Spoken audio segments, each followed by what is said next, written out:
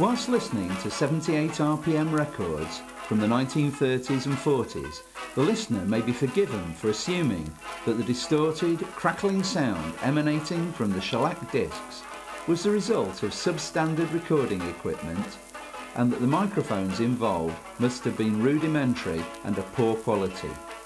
Here is one such example from the 1930s, the STC 4021E omnidirectional moving coil dynamic microphone. The following digital recording has been made with no EQ or processing, fully exposing the shocking truth about this weird looking elderly transducer.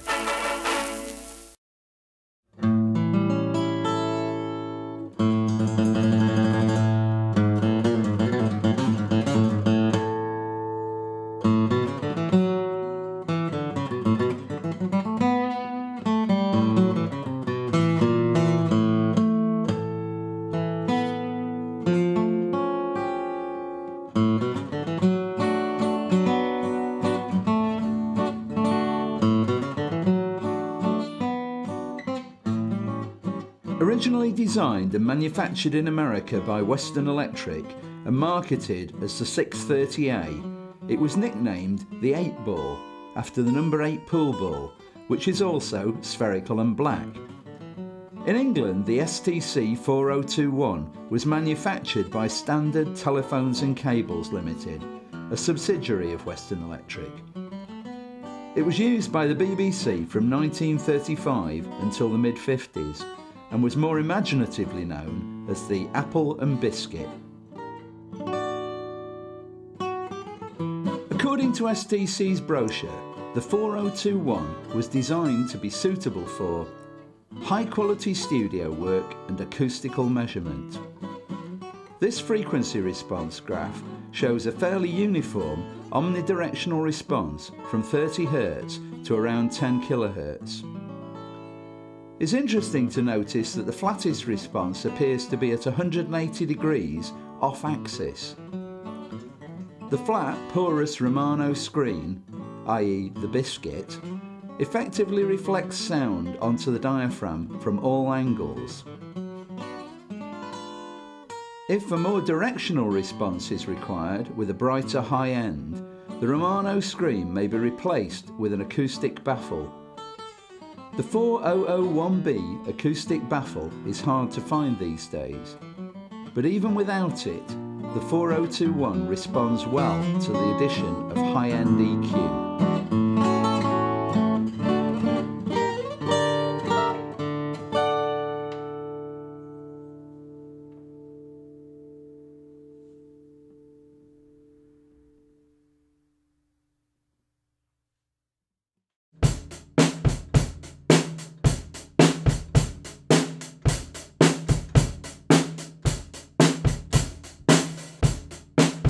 Over the last few decades, the 4021 has even found favour in major studios such as London's Abbey Road as a drum overhead and ambient mic, producing a fat, punchy sound with plenty of low-end weight.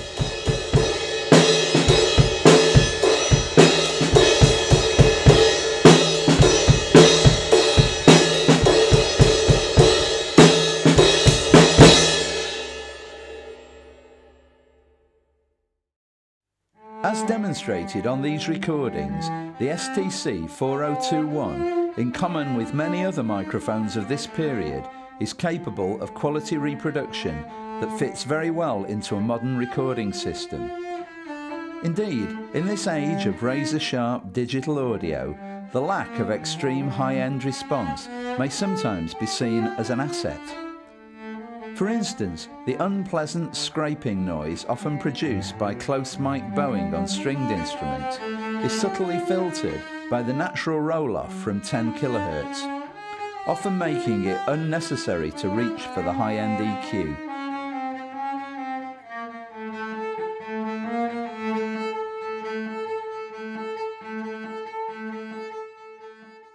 The 4021 may no longer be anyone's choice of microphone for recording classical music. But in this next example, it is interesting to hear how it compares to a high quality modern condenser microphone, the AKG C414 BTL.